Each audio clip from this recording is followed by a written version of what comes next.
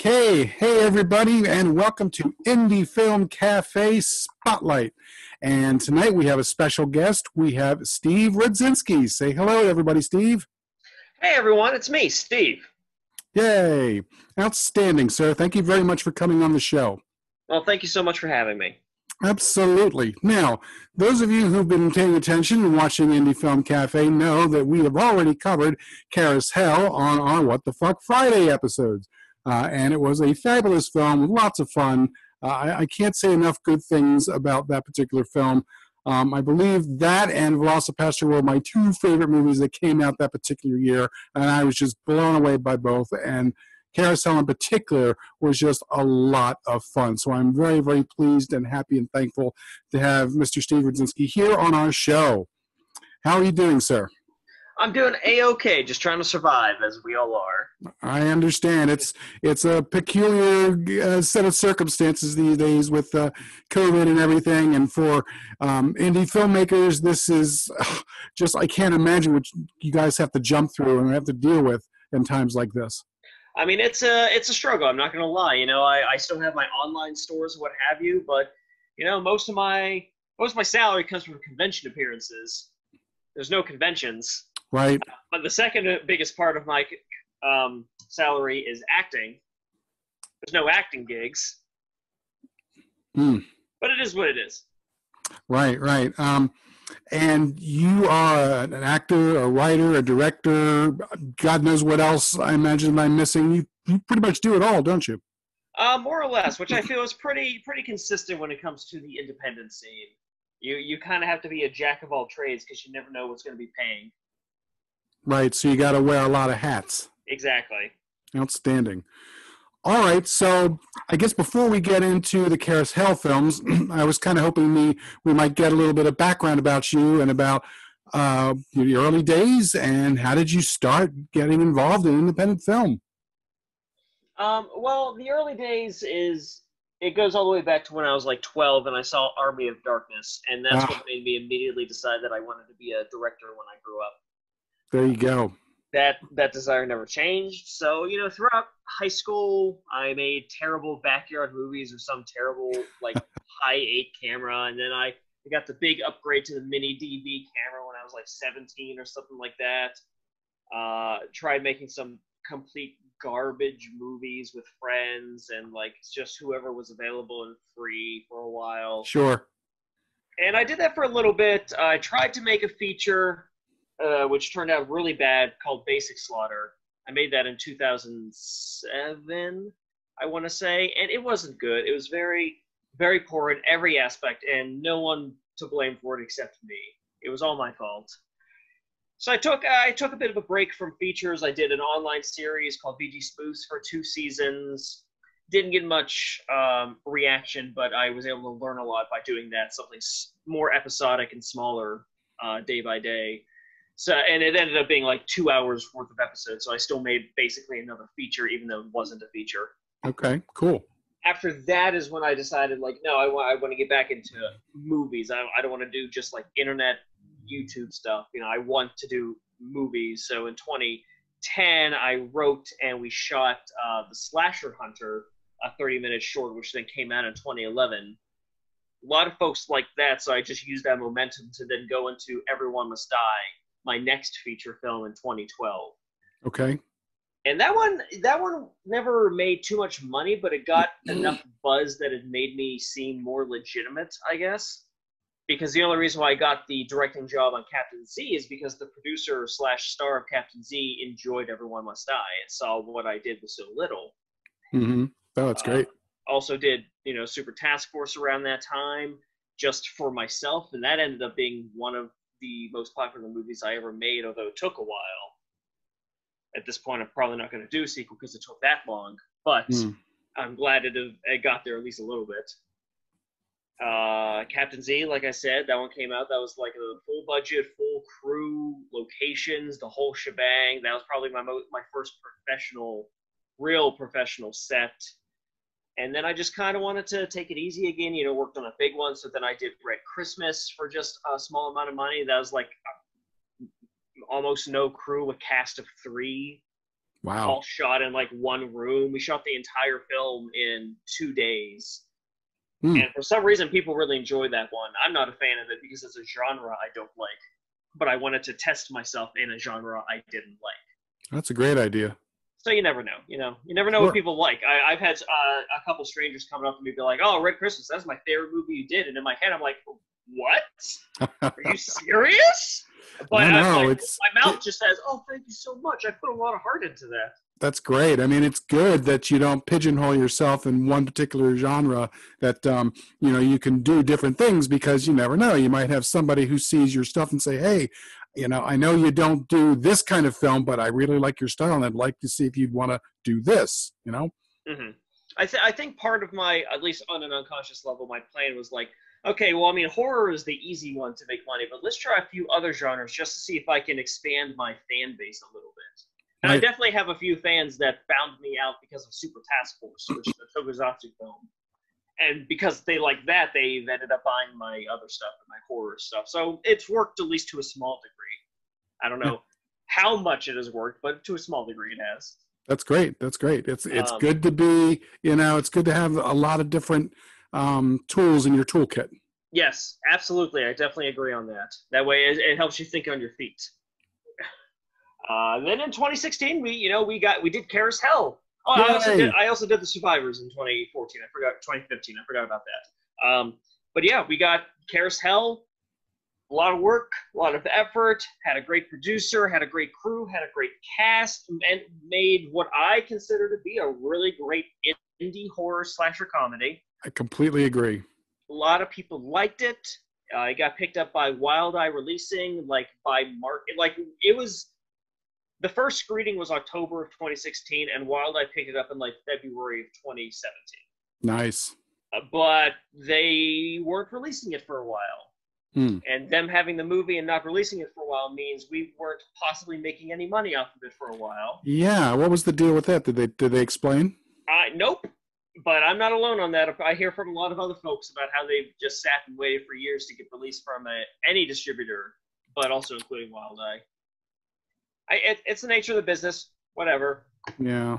But That's- since I had nothing to do for a couple of years, I watched a lot of movies. I focused on the review podcast more, Movie Films with Bill and Steve, which is now ended. All the episodes are still up though. Hmm. But at one point, we were watching talking animal holiday movies, and I was I was just getting so furious at how bad they were, but how much money they had to make them. Like they have all these huge budgets and all these amazing resources and all these great cast members, and they just were releasing these horrible cookie cutter, uninteresting films. With a few exceptions. Shout out to the Three Doggeteers, which was very self-aware and actually made us laugh a lot. That's adorable. But I was hoping we were getting to my next section of films because you know I love the Meowie films. Yes. Yes, good. So so the first one, A Meowie Christmas, was just made out of spite. That's Other great. talking animal movies. It was just like these these pieces of garbage are like just squandering a million dollars on every movie that they make. Seriously. And like like the dog who saves Christmas was one in particular that we just ragged on, and it's literally just a worse version of Home Alone, except with a dog. Right. So I was like, you know what? I have five hundred dollars and a cat. I'm gonna make a worse version of Home Alone with an animal, except I'm gonna spend five hundred dollars. Good for you. Um, and you know what? It, it's still me, and I'm still weird. And Bill Murphy was also weird. So the movie still ended up being way weirder and more creative than Save the Dog Who Saves Christmas, even though it, it was still a send up of Home Alone. For some reason, kids loved it. For some reason, it made money. Not just kids. I mean, I've been showing that one to a number of people, and everybody I've shown it to has just thought it was absolutely delightful. It's it is. It's a lot of fun. That's great. I'm I'm glad to hear that. But uh, so we had success with that one. Still had not much to do, so then I did the sequel, A Meowie Halloween, Yay! which is the best financial decision I've ever made in my life. For uh, I think I spent maybe four hundred dollars on that film. It has made a percentage wise, it's my most profitable film. Like obviously, we've sold more units of CarousHell, but in terms of like budget to profit, that Talking Cat Halloween movie is where it's at, baby. Let me tell you. awesome, awesome. Uh, That's um those you can see on Amazon. Uh, they are on Prime. Uh, a, mo- a lot of my movies are on Prime Video. Uh, some of my movies are on Tubi. Uh, some of my movies are like on some other smaller streaming stuff. My films are also available physically at silverspotlightfilms.com.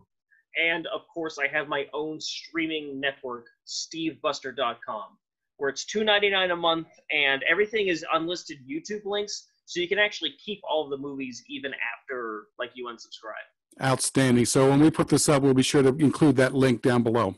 Thank you so much. Oh, no problem. And I have to say, in addition to CarousHell, we also covered Meowie Christmas on Indie Film Cafe because it was so much fun. And um, my roommate at the time, Lenore, absolutely adored that film. That's wonderful. Have you gotten a chance to see Halloween yet? Yes, and I loved Okay, it. We haven't we haven't covered it yet, and I, That's I okay. want to I want to do that. I just haven't done it yet. That is perfectly okay. I just wanted to make sure you saw it, especially as a horror fan and as someone that liked the first movie. Like Halloween is Halloween is a love letter to horror fans without the kids knowing that. Right, right. It For those of- For those of you listening at home, that movie has like 45 horror movie references in it, including at one point a character opens up a puzzle box and sees a bright light, and then you hear chains, and then that character canonically disappears because they went to hell. Right, right. In this children's film, the Cenobites are torturing this poor innocent man, As you do. but kids don't know that. Right, right, right, right. No, no, it was great. It was a lot of fun. So, you know, definitely it's on my list. I, you know, I have so many movies that we're trying to cover. It's just, it's an impossible task, but we are definitely uh, putting in as much Steve Rudzinski films as we can. Hey, I we'd like understand. I made a lot. I don't blame you. Okay, so that's awesome. Um, and so then the next one that you ended up uh, doing, I, I guess, uh, if you were still in the Meowie things, um, can we talk a little bit more about uh, CarousHell and how did that one get together? How did that how did that uh, project gel? And where did you get the great great cast? They were really really fantastic. I you know when I explain to folks that this is an independent film, they look at me they're like, "Are you sure?" I'm like, "Yeah, I'm sure." These guys were great. Wow, that's amazing. That's really nice to hear. Uh, very often you you see the opposite in a lot of written reviews. Right, right.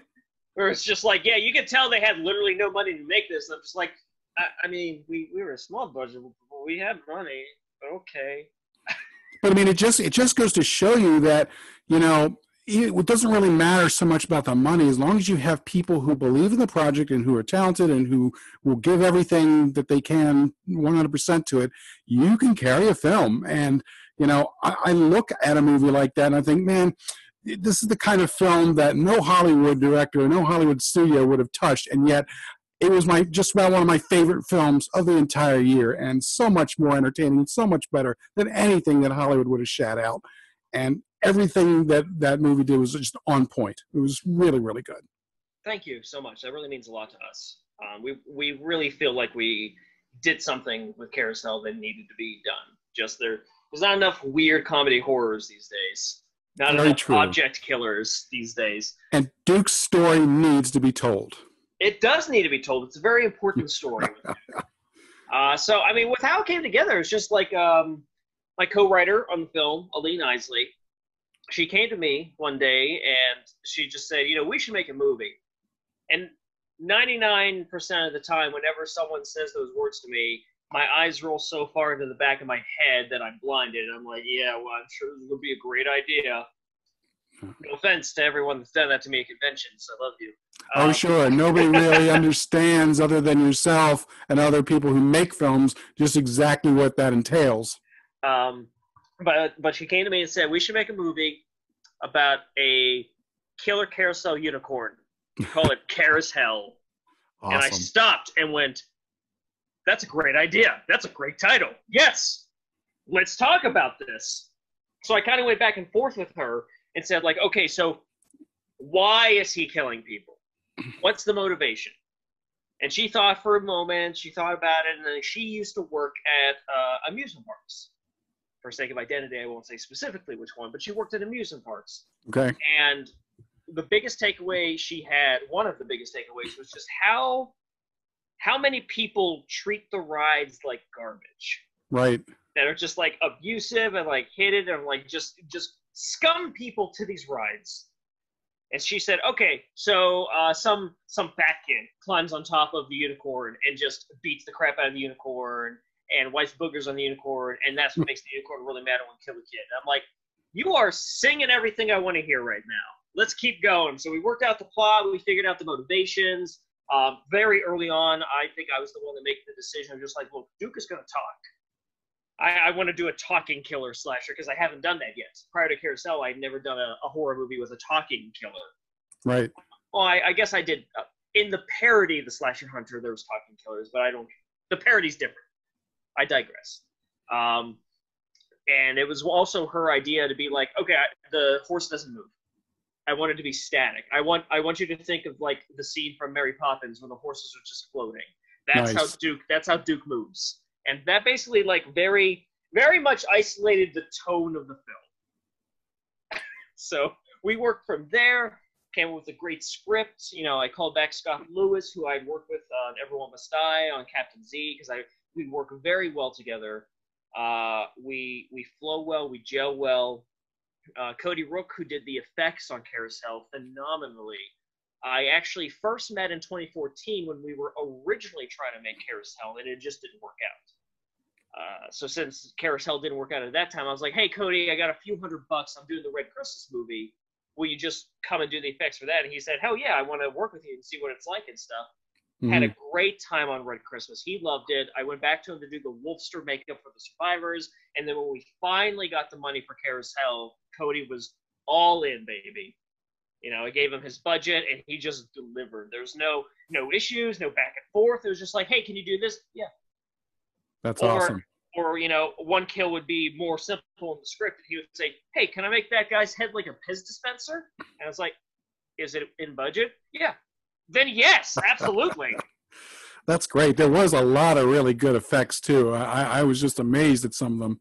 Um, yeah, it, it was great. But you know, really, really, it's just the the the actors were just fantastic, yourself included. I, I think um, your character and then uh, Haley Madison are my two favorite characters in the entire film. You guys did such a great job.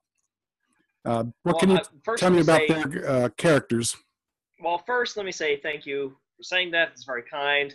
I hear that a lot, so I guess they were right. Oh yeah, And the day I will now say that I did not want to be Joe the Pizza Guy. I did not want to act in the damn movie at all. I just wanted to direct. I I don't really like it when directors make themselves the funniest like main character in a movie. But I wrote the script, and then Alina was just like, "You got to be Joe the Pizza Guy. This is you." I'm like, "I'm not going to be Joe the Pizza Guy." Scott Lewis read the script and said, "Steve, you got to be Joe the Pizza Guy. This is you." I'm like, "I don't want to be in the movie."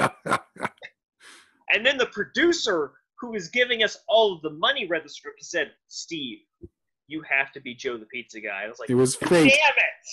I'm not going to say it no out of the the park, man. Thank you, thank you. Um, for everyone else, um, it was just, I mean, it was just standard casting. You know, I threw out a bunch of casting calls, a bunch of people auditioned, a bunch of people applied, and we just kind of chose the best, what we thought was the best of the best. Haley really nailed being as adorable as that character should be, and she oh, had Oh, yeah. the com- and she had the comedy chops beyond like necessity. She was hilarious. She hit every single bit of timing exactly how we wanted her to hit it, how we needed her to hit it, and she's a lot of people's favorites. And she was fearless during the sex scene. I was going to say that that must not have been easy. It was we well. Whenever I do nudity, I do try to make everything as comfortable as possible. So it's always like I'm sure you've heard it plenty of times, but it's like very minimal crew, very minimal anything. Do it at the end of the day. Take as long as we need to with it, that sort of thing. So when it came to that sex scene, we had Josh Miller, who Haley is friends with in real life and played Pierre. He was audio for that since they knew each other. Scott was there for camera. Aline was there for like lights and to help with puppeteering. Haley was there and I was there. And that was it. It was just us in that room. And um, I mean, I'd say most of it was pretty hilarious and Um, fun, Yeah, as opposed to like awkward or anything like that. Because Haley was again all in, hilarious, fantastic, signed on completely for this weird ass sex scene. I'd say the only hard part is when you have the whole Duke in the shot because you don't see me kneeling down holding all of Duke on like just my shoulder moving back and forth to try to emulate sex. Wow. Other than that, it was just like, hey, um, what would be funny? Hey, Haley, can you do cowgirl? Yeah, okay. Cut. That was hilarious. I'm in Wow. tears. All right, moving on. Well, I mean, like I said, the whole movie was just so well acted by everybody, but you and and Haley really, really stood out uh, as as the best flowers in the garden, so to speak. And I, I just wanted to point that out. And everyone that I've I've shown this to, and I've been showing it to everyone, um, they pretty much agree. So you guys did a great job. That's awesome. Thank you so much. You bet. So this is a good segue then, because we know, spoiler alert, that uh, our frisky little friend Duke manages to uh, escape at the end of CarousHell the first, Yes. and so now that segues us into CarousHell two. So what can you tell us about this? Well, uh, CarousHell the Second, and to me that title is very important because it go it really ties into what the plot of the film is. And it's so Duke had a very romantic evening with Haley J. Madison's character, Oh, yeah. Sarah. Um, very romantic. And if you watch the next scene after the first bit of credits, you do see that uh, Laurie's mother, played by Judy Kirby, um, actually, I'm not sure. Her last name isn't Kirby anymore because she just got married. I'm sorry, Judy. I'm a piece of trash for not Oh, being sorry. more prepared for this. Um, but Judy finds uh, a little baby because Right. of because of magic. Uh, Duke's magical seed created a baby very quickly. It was born from Sarah, and the movie ends with that baby launching itself towards Laurie's mother. Canonically, he leapt into her arms, and it was very sweet Oh, it's a good baby. It's a very good baby. It's just scared and is scared to be alone.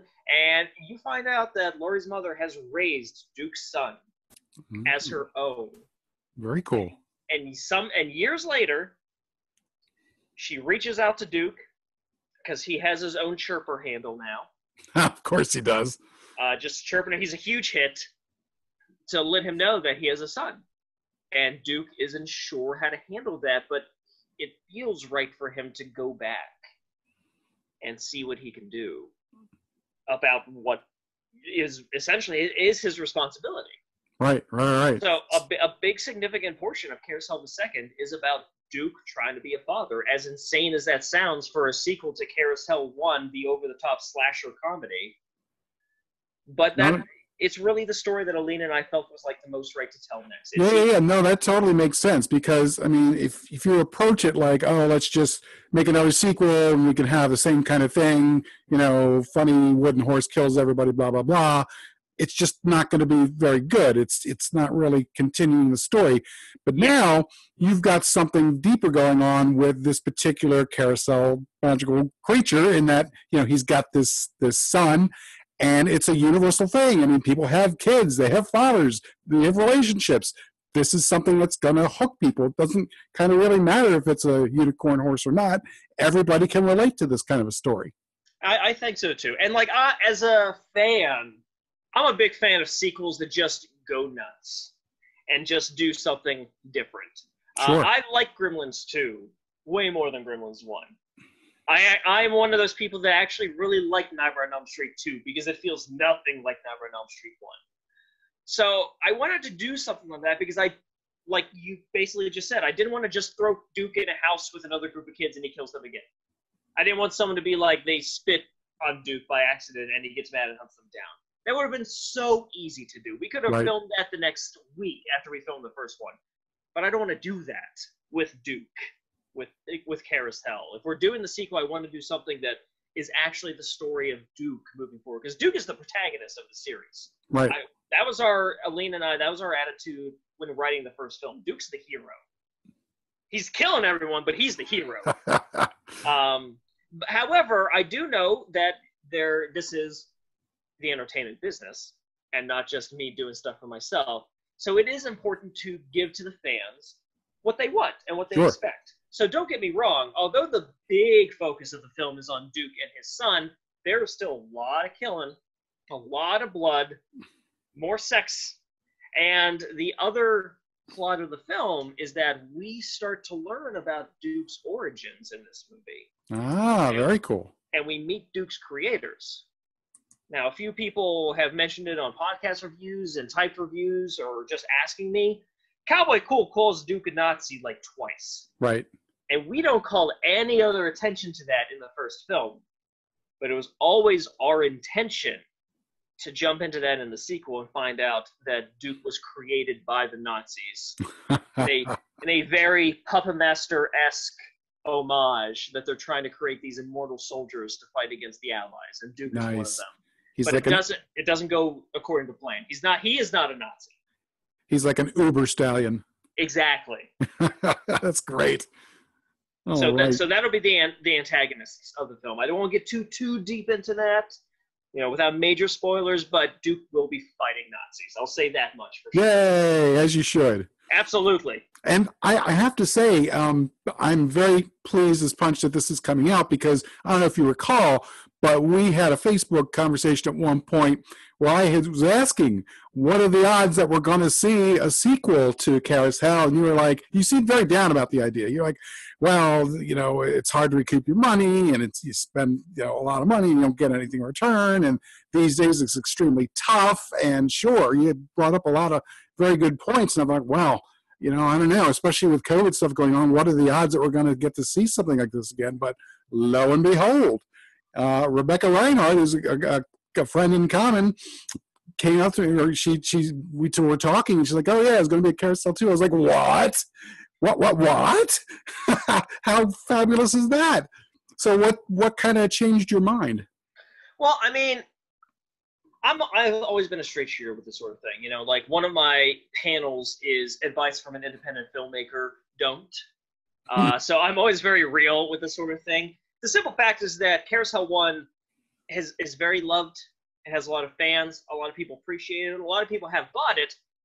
Financially, we're still very much in the red Uh, if this was just a, a, like our producer or us making the sequel, it would still not be happening simply because of that. You can't, you know, if you're not making the money off of what you did prior, you can't justify trying to do it again. So Sure. that's kind of why we're going to the fans with this, for better or for worse. You know, uh, I know some folks aren't a fan of crowdfunding or they look down on it, and I understand that, but that's really the only way this movie will and can exist is if the fans really come together and really put in the effort to help us create the film. Because so many people have said, "When are you making CarousHell 2? And I'm like, as soon as it makes money. That may not happen for a long while, but people really want CarousHell 2. So that's why I'm like, okay, help, please. right, Like, right, right, right. No, I, I guys want- totally agree. You guys want CarousHell 2? Here's how it happens. Mhm. This is the only way it happens. So, like, we, I really went out of my way to work the budget and write the script in a way that we could slash the budget, like the budget of the film, of the sequel in like half, without losing quality of like the performances or quality of the kills, just in the sense of like locations and number of characters and that sort of thing. I was able to get Right. much lower to what I believe is a very attainable goal of the ten thousand dollars to make part two. No, that's great. That's a great budget. So if if we can get that, then great. And you know, I mean, if we get it, awesome. We're gonna make CarousHell two. We're gonna kick its ass. We're gonna get it out there, and hopefully the fans will love it just as much. And at that point, it's gonna be the same sort of situation. Maybe there'll be CarousHell three, but I don't want to make any promises. that would be fabulous. Well, I can tell you I've already pledged, and we'll make sure that we put all that information down below as well, so that everybody can else, else who wants to pledge and who wants to see more CarousHell films, this is the way to do it. yeah, uh, I, I'm again like I really appreciate everyone's support that they've given me. I appreciate all the passion that everyone has expressed to me about the first film and now the sequel. One of the cool things about this crowdfunding campaign is that I've been seeing other people post the campaign to horror groups, and I've been seeing a bunch of comments from people being like, "Oh, I love the first one," and I have no idea who they are. I have no idea how they found the film, when they saw the film, but they love the film and they actually care about the sequel, and that's a really good feeling. that uh that like I, Aline, the whole team, we were able to like make a bunch of strangers around the world smile and laugh a little bit, and we didn't even know it. That's awesome. And the thing is too is that you know the indie film community, especially in the in the what you would consider micro budget, it's a pretty small community. I mean, there's a lot of different people and different groups doing things, but everybody kind of sort of knows each other. And um, as an outsider coming in, because you know I have a completely different career, and I just kind of fell into this whole thing with Indie Film Cafe, and by association into Flick Productions, where we're doing our own stuff. But I've been able to network and meet a lot of different people, and we have a lot of uh, friends in common. And it's just been amazing how a project like this will go out, and a lot of people will support it. They'll talk about it. They'll spread the word. They'll network with their friends. They'll pledge when they can and it's just a great thing. And you look at what goes on in hollywood and you think my god they they don't do anything like this. You know if anything it's a lot of it's a lot of backstabbing and you know uh, fights trying to secure money and things that only get greenlit in the first place which are going to be you know uh, things that are just prolonging um, you know uh, intellectual property so they can because the bottom line is all they care about. Yeah um, yeah yeah, and, and I am always one of those people that are firm on saying that it is the entertainment business. Money is obviously a defining factor. I get into a lot of arguments on the micro budget and the indie scene. That being said, there's still a difference between you know our level and what Hollywood seems like they do. Where, as you just said, it seems like Hollywood cares more about the bottom line than any of the art or even the entertainment to it. Sure. Uh, whereas, like again, I will fight. Need to make money, no matter how small you are. That's the point. But it seems like a lot of guys and gals on my level are able to marry the two a little bit better. And that's mm-hmm. not to say Hollywood never does that. There's plenty of Hollywood films I love, but I, I enjoy the passion of the indies a lot more. Absolutely, absolutely. And the fact is, the indies will do stories and characters and and situations that Hollywood just will not touch. It's you know. I mean, that's the thing with Hollywood. Unless it's like guaranteed, they'll jump shark most of the time. Very rarely will over the top ideas get the approval in Hollywood. And even then, sometimes they may get approval. It might be some insane take on a comic book superhero property where a director has a really passionate vision about uh, an evil version of a character and time travel and a series of five films before you get to where the fans want the characters to be. And the studio pays for it twice and then says, oh, wait, people don't like this. Never mind, canceled. Right, right. Or there's just stuff that nobody cares about. I mean, I, I was reading that we're going to get like a, I don't know, $100 million biopic on Vanilla Ice. I mean, really? Do we need to see that? I'd, I'd much rather have 20 CarousHell movies. Right, right that's always the thing too, you know, with the Hollywood budgets and what they spend on the films they make is sometimes mind-boggling. I'll see stuff where I see mm-hmm. every single dollar of the budget on the screen and I get it, and then I'll see stuff where I'm just Dodger Saves Christmas. Let's go back to that. I have no idea where they spent all their money, aside from the fact that they paid for like several name actors for no reason in a mansion. I otherwise have no idea why that movie costs more than say twenty thousand dollars and I know it costs way more than that. Yeah, I mean, I, the only thing I can think of is you know SAG. You're using SAG production, SAG people. I mean, not, that is that is always a factor when you're working. Right, right, and I'm I'm not I'm not bagging on them. You're getting professionals, but a lot of your money ends up going to that just for that alone. Yeah, and you know what? I I get it. Uh, the unions are important, especially with how Hollywood operates, because Hollywood will absolutely take advantage of a lot of people Absolutely. A lot of a lot of indie creators will absolutely take advantage of a lot of people, which is why to me communication is always the most important direct thing when it comes to what I do. Which is why sometimes when people ask me where's CarousHell 2, uh, like Paul, I'll say, I don't know, I don't got any money. Um, but at the same time, yeah, obviously when you work with Teamsters, the budget immediately is going to instantaneously go up, like say five hundred thousand dollars. Right. And that, that doesn't have to be the only option. But to a lot of people, it feels like unless you're doing that, it's not a real movie, and I don't jive with that. Again, yeah. I'm, I'm pro union, but I don't think union should be the only way. That's Absolutely. that's where I differ. And the other thing is that it seems, at least from me on the outside, that I don't want to say it's conspiracy, but it seems like like some of the outlets, Amazon and Netflix, and some of the other big multi, you know, faceted uh, uh, conglomerates out there are not really uh, allowing a lot of the indies to to to do their thing. You know that they're just not interested in carrying. I mean, they were maybe at first, but it, it seems like a lot of them are just not are just not really trying anymore. I mean, I understand. I have a number of friends who've had their their properties on Amazon that were just dropped for no reason. You know, just because I guess I don't know. I mean, it's like it's like they were good enough to get uh, put on Prime in the beginning, and now all of a sudden they're gone, and they were never told why. And it seems like it, it seems to be mainly independent filmmakers, and you know, you just got to ask yourself what's going on with that. Yeah, they it, people just those companies just don't care about the indies, and at the end of the day it's their servers, it's their company. Yes, obviously they can do whatever they want.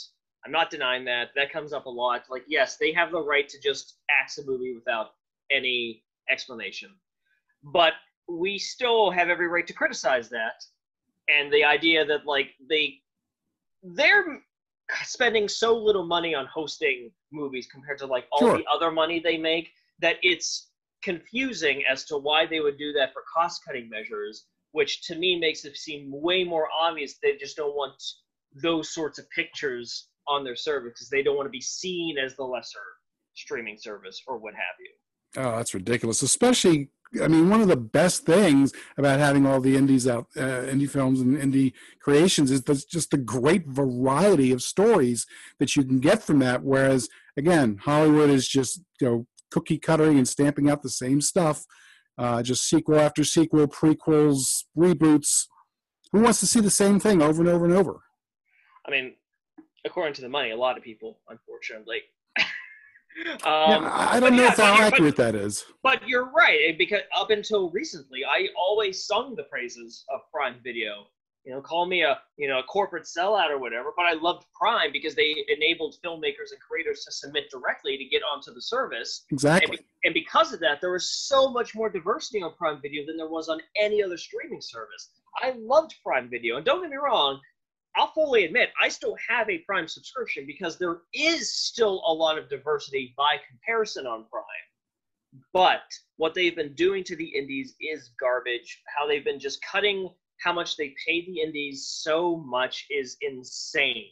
Right. Um, a Meowie Halloween made like seven hundred dollars uh, in the month it was released in 2018 on just Prime streaming, like not including rentals, not including sales. It made like eight hundred dollars. Nice. Meowie St. Patrick's Day made six dollars. Oh. Because that's how much they've cut. Now, some independent film filmmakers have been able to make more because of the way the system, the algorithms, and the systems work which is awesome. But overall, I keep on hearing from people that they went from this is my career to how can I sell my movie at all? There's no money now. Right. And, and, and again, the creators that just have their stuff taken down without recourse. Like you can't resubmit it, you can't get a reason why, you can't ask why, it's just gone. And it's terrible because you go from okay, instead of focusing on a quality story that's really, really well done that we have passion about, we have to look about how are we going to play the algorithms. Yeah. And that's, I mean, don't be wrong. Even I played that. One of the reasons why Meowie Halloween did so well. Do you know how many movies have the name Halloween in them on Prime? A bunch. No. No. Like none. You really? type in Halloween. A Meowie Halloween is like the second result because there was like six. Wow, like that's six great. movies with the name Halloween in it, included with Prime. That's the caveat. Like obviously every single Halloween is on there and stuff like that. But when it comes to movies included with Prime, you know, you got a you got a parent in the middle of October just typing in the name the word Halloween included with Prime. They see a cat, boom, they're watching it. Of oh, course, plus, that was a marketing decision. Plus, for kids, I mean, there's got to be very little for kids. Very little. That's I think that's another reason why that's probably the most successful of the Meowies, and will stay that way probably as much as I love what I did with three and four and the insanity I get into in four, I still think Meowie Two is the the all time classic talking so, cat movie of mine. I I have to ask because I it, you know this is the sort of thing that goes to my head. But what are the chances we're going to see a Meowie Duke mashup? Uh, this is pretty much zero. Figured. I, but it's it's because I've and this is something I've talked about a lot over the years. I I hate it when genres for an age group get aged up. I don't like that. You know, Hmm. you like for example, you have a lot of people saying like, "Oh man, I'd love an R-rated Power Rangers," and my response to that as a Power Rangers fan is, "No, that sounds horrible." Because Power Rangers isn't meant to be R-rated. It's not meant to be in that territory of adulthood. If you want an R-rated Power Rangers, watch Guyver. Watch Garo. Those are those are adult tokusatsus with lots of swearing and blood and violence. If you want that genre but are rated, those already exist. Don't Mhm. change what this other thing is just because you're nostalgic for the title, but don't want to look like a loser for like watching the kids show. So to me, I would never want the Meowies to be R rated, in my opinion. No, that makes that makes a lot of sense. You want to be able to keep your your meowies separate from your dukes, but you know, for me, I would love to see, even if it wasn't so much a mashup, just maybe a quick little scene. You know, maybe meowies investigating something, and you see a carousel horse walk by in the background. Well, You know, something fun like that. Well, Wally may come back. Wally Okay. Griswold from the films because you know all my except for Super Task Force, all my movies take place on the same Earth.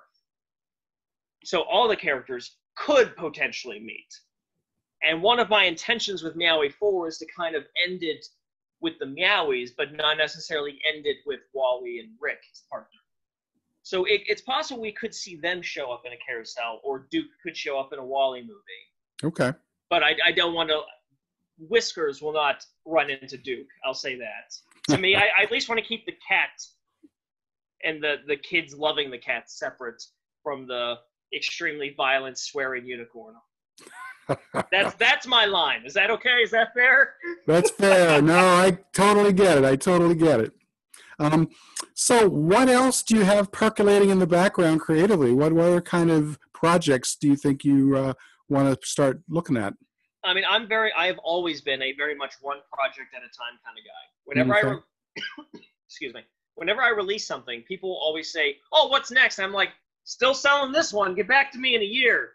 Um, so right now, my creative brain is all focused on CarousHell 2. That's Makes what sense. I'm worried about. That's what we just wrote. That's what I need to focus on if we're able to get the budget. And I got to work on the schedule. I got to work on the you know the casting. There's still a few auditions I need to do for a few characters. Need to work out with Cody when he's available because Cody's coming back. I need his effects back. I can't make a movie without his effects. Right.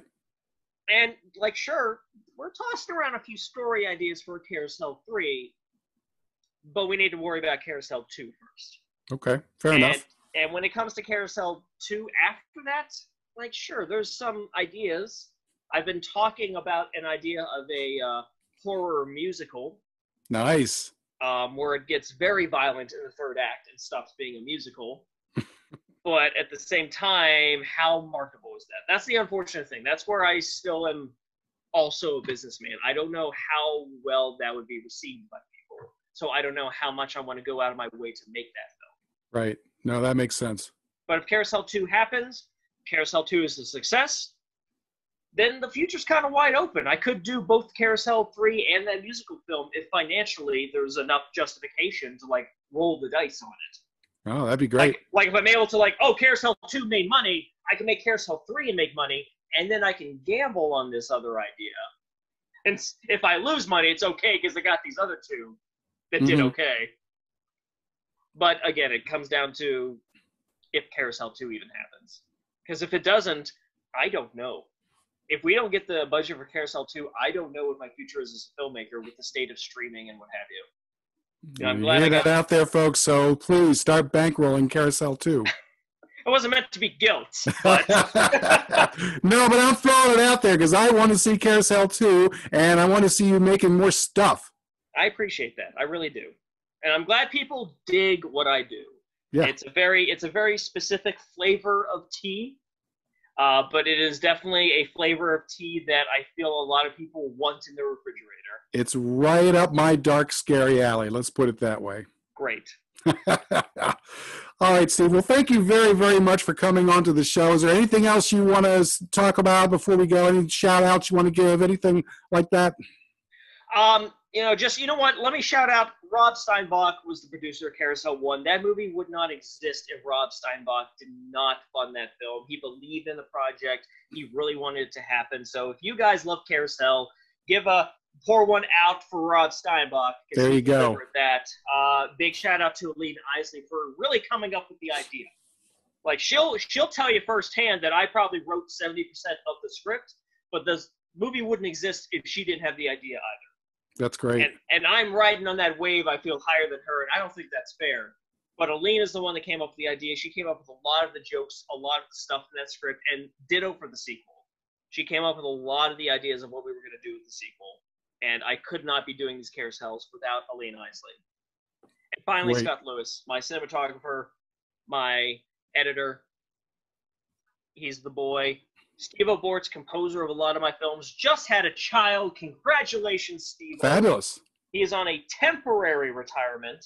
We actually do not know if we will be able to get him back for CarousHell 2 as the composer, but if not, it's okay. We understand. His family matters more. And that's it. So I would just say, you know, if you, you like this interview, if you like my films, if you've seen just one of my things on Tubi or Prime Video and you want to see more, head over to silverspotlightfilms.com. That's where you can find like all of my movies, all the trailers, all the links, the store pages there. If you want to see my movies but can't afford to buy all of them, which I get because I've made like 11, so like no no judgment on that. Uh, SteveBuster.com. Like I said, it's a streaming service I kind of started up for folks that are just getting into my stuff that are interested. Two ninety nine a month. You can save stuff after you unsubscribe, and we are still updating it twice a month with new stuff all the time. That's great. That's that's very reasonable. And if we get Carousel 2 up and running, Steve Buster is going to be where like the video diaries are. That's going to be where all the behind the scenes stuff is at, for the Steve Buster subscribers. So if you just want to roll the dice, you know, three bucks, six bucks for two months, you know, it's like give it a shot. Sure, absolutely. And I can tell you the content is definitely worth it. Thank you very much. I think we're at like 20 hours worth of stuff on there Nice. between all the movies and all the bonus features I've uploaded. I, I forget exactly, but I just remember it was like, oh wow, I got that much stuff on there. What have I been doing with my life? Yeah, any idea about maybe adding a few more things, like maybe doing, a, you know, like a, an hour a week, kind of like a like a mini podcast talking about the film and what's going on, and you know, for sort of uh, you know background information for those of us who who are interested in the production. Yeah, I mean, yeah, if we end up making CarousHell 2 and the subscribers would want that sort of thing, absolutely. Yeah, that'd be I could do great. episode about the writing process. I'd have Aline on that with me. We could do episodes like when we're talking about the effects. I'll do whatever. You guys give me money, I'll do it. I'm a whore. there you go. That's the perfect attitude to have. Good, I'm mm-hmm. glad. All right, well, great. Thank you very, very much, Steve, for coming on to the show. We greatly appreciate it. We love all your stuff at Indie Film Cafe, and we wish you nothing but good luck in the future. Thank you so much, Paul. It was a pleasure to be here, and thanks for listening, folks. Yep, absolutely. Thank you all very much. Thanks for tuning in to Indie Film Cafe Spotlight, and we will see you next time on the flip side. Bye, everyone.